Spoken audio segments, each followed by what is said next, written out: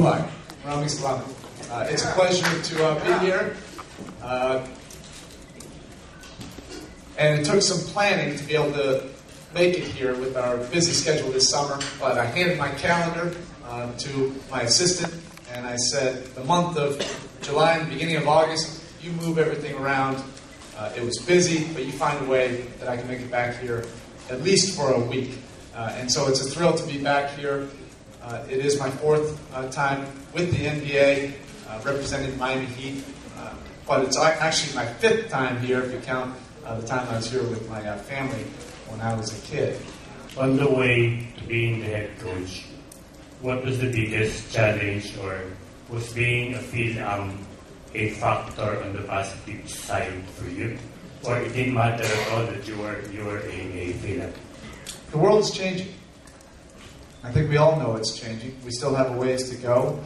Uh, I take a lot of pride in the fact that I was the first uh, Filipino American head coach uh, in any professional American sports uh, team.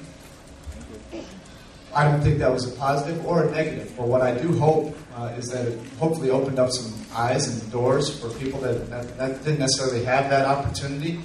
Uh, and ultimately, all of our hope uh, is that eventually uh, heritage or, or, your background uh, won't necessarily be the story, uh, and it'll be the story about uh, what you can contribute to the game.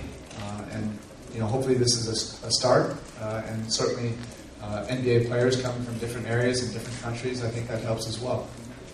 but I think what's important about this is the fact that the NBA game now is global.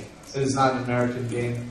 Uh, players are coming from every region uh, and country in the world. I think that's what's exciting. The fastest growing market right now in the NBA and interest of basketball is in South, Southeast Asia. Uh, we are well aware of our incredible fan base here in the Philippines. Uh, it staggers our players uh, because they know uh, how popular we are here, almost, almost 10,000 miles away. One question again. What was your mother's reaction when you won the title? Uh, of course, she cried. Uh, she thought uh, we were the reason why we lost uh, the season before uh, because she came out for the finals uh, to Miami. I felt so horrible about that. I, I wish the reason why we won or lost was because of her, and I could control that at least.